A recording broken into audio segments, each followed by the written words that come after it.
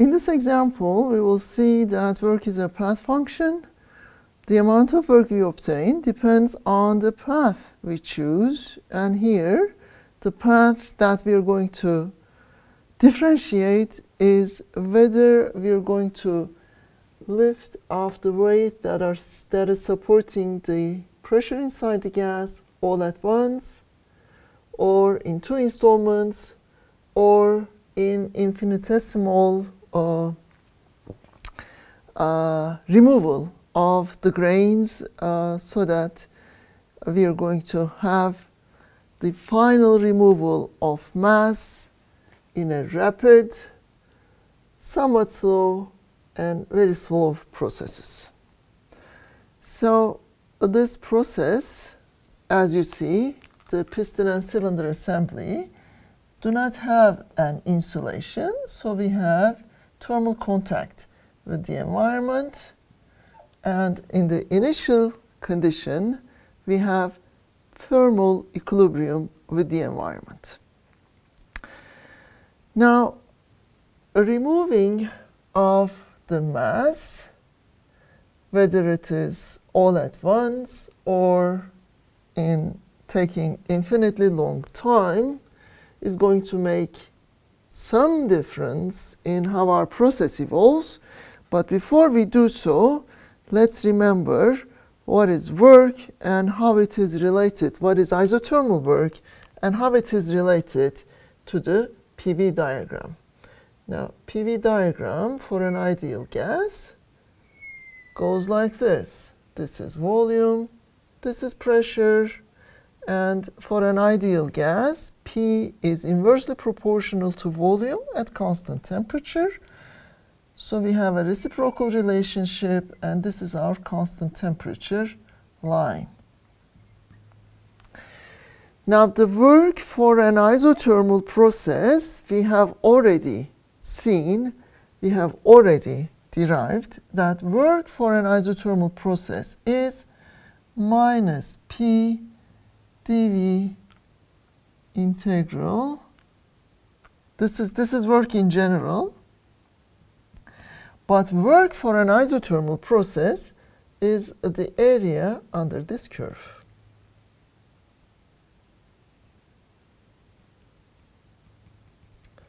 Between V1 and V2 and our direction is here. Okay? This is work for an isothermal process. Uh, that the area under the isotherm, the constant temperature curve, of a PV diagram is going to give us the amount of work that we obtained, or in the opposing direction, the amount of work that we do on this system. Now the physics of the situation is like that when I remove this mass all at once, the system is not necessarily evolving isothermally. That removing this weight removes the pressure uh, constraint the system reaches a mechanical equilibrium that the pressures are equalized, but since this piston moved very rapidly, the gas inside the cylinder is going to be colder than the environment and it will warm up with time and the pressure will adjust itself with time. Temperature will adjust itself with time.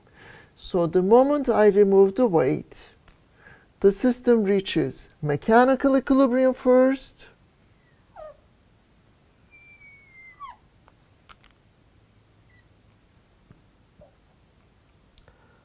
So this is my isotherm, the temperature of the environment. My final pressure is this. My final pressure is this. But my process starting from P1 has evolved by a mechanism which I do not know yet, but not necessarily an isothermal mechanism, a sudden expansion to the external pressure to an unknown volume and then here while keeping the external pressure constant my system has reached equilibrium. Now what happened when I removed the mass all at once that my gases my gas has cooled down to a new temperature which is lower than the environment temperature. And between this temperature and that temperature, heat exchange has taken place. How much work did I obtain? As a result, as a result, I obtained work that is identified by the area under this curve. Right? This is situation one. This is ideal isothermal condition. Now let's look at situation number two. I'm going to remove the weight into installments.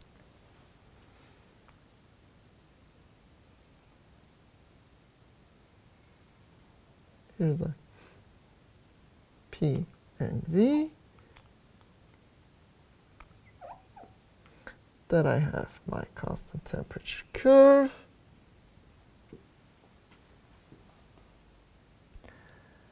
I start from P1. When I remove half of the weight,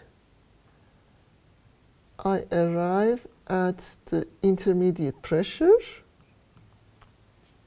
When I remove the full weight, I arrive at P external. Okay. So I start from P1. I remove the weight. The piston moved up. Suddenly, the mechanical equilibrium has to be established first, then the thermal equilibrium.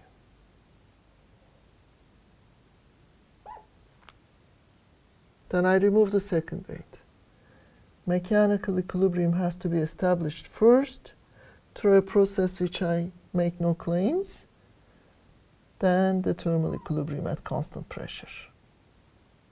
Okay? And the work I obtain in this situation is this area under this curve. All right?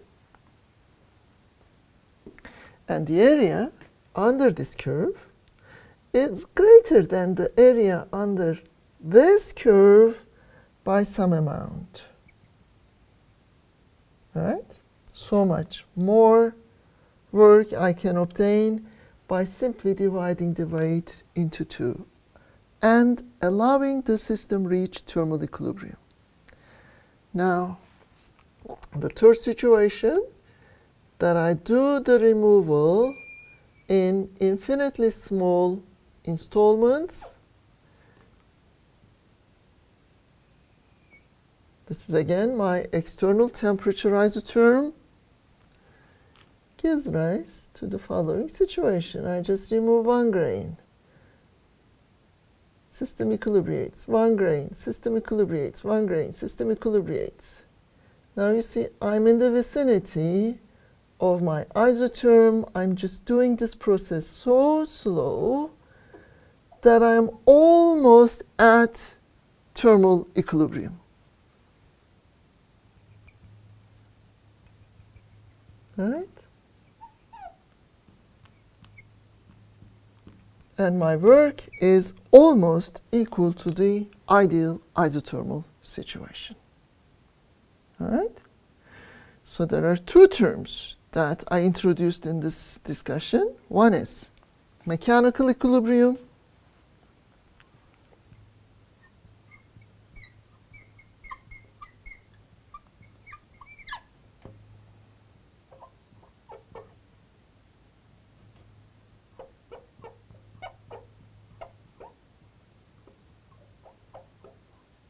the other one is thermal equilibrium.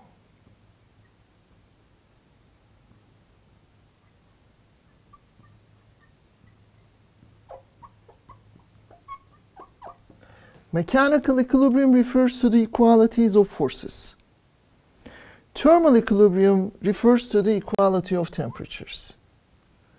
So when the forces are equal, the forces are balanced, that system is at mechanical equilibrium, like in this situation, like in this situation. Thermal equilibrium is that the system and its environment are at equal temperatures. Yeah, now the difference between these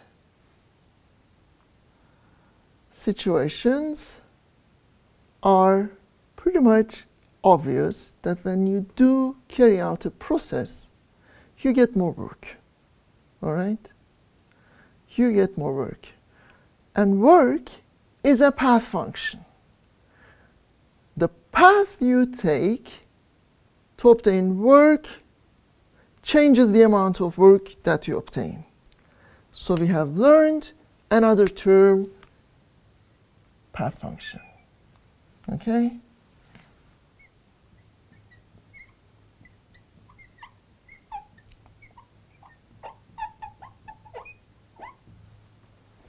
And of course, we have to also indicate what are path functions and what are not. And if they are not path functions, what are they? Work and heat are path functions, while temperature, the opposite of path function is state function.